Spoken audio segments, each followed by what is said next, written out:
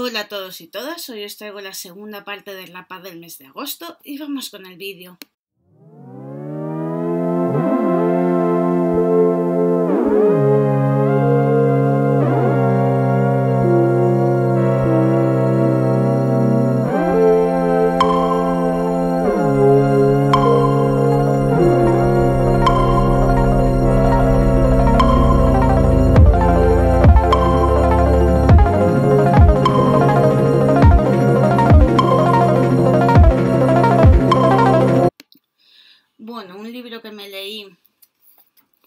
Fue Ángulo Muerto, antología de cómic de terror, por varios autores eh, japoneses, que son estos.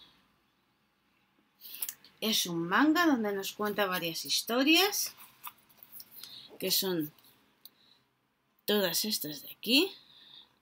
Es un libro que me ha encantado, lo compré principalmente por Junji Ito y bueno, me ha hecho conocer a muchos más autores japoneses y querer saber más de ellos. También he leído Carretera Maldita de Stephen King, estoy intentando leer un libro cada mes de él. Es un libro de sus comienzos, creo que es del 81, lo dije en la review, si no me equivoco. Sí, del 81. Me encantó, aunque es muy suave para Stephen King. Luego eh, me he leído también un montón de R.L. Stein. A ver. Me he leído El misterio de los hombres lobo, que tiene un final bastante sorprendente. Me he leído Campamento Espectral, con un final también con un poco vuelta de tuerca.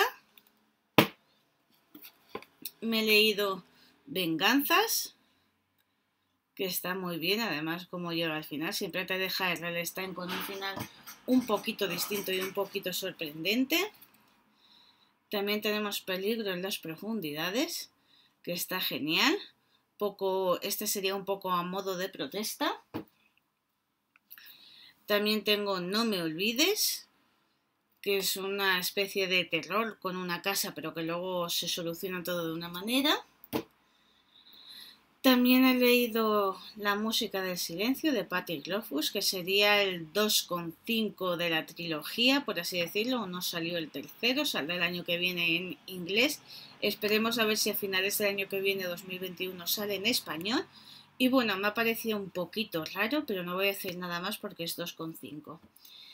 También he leído La muerte visita al dentista de Agatha Christie con Hercule Poirot y me ha encantado, me ha parecido un caso muy especial y os recomiendo totalmente.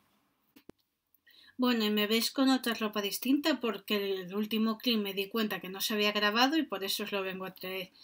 Leí por último La leyenda perdida de R.L. Stein, un libro en el que se nos cuenta unos niños que van con su padre a descubrir un tesoro de la leyenda perdida y se, acaban, y se acaban encontrando cosas fantásticas. Me ha gustado, pero no es nada de otro mundo.